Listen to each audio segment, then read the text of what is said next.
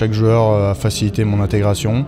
ils ont fait en sorte que j'assimile le système de jeu le plus rapidement possible.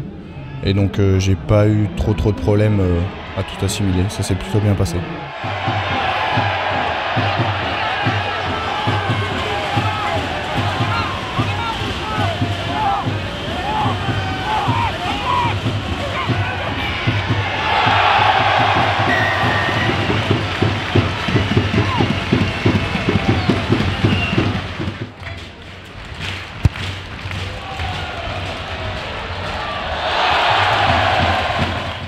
Crois qu'aujourd'hui, euh, cette équipe domine totalement la, poule déjà et je crois qu'elle va dominer, euh, va dominer la, Fédérale 1. Ça va très vite, c'est puissant, c'est costaud. Euh.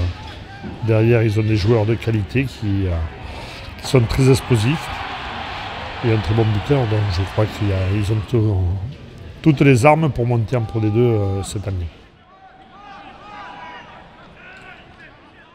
J'entraîne cette équipe de, jeunes qui, qui essaye de progresser, mais on est loin d'une équipe comme, comme la vôtre aujourd'hui.